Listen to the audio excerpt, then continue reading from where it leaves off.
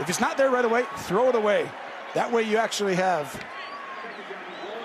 They were about to put the field goal unit, but Tracy Wolfen, Wilson, Tracy Wolfs, Wilson. ah. She overheard Patrick say, "Give me one more, I can do it."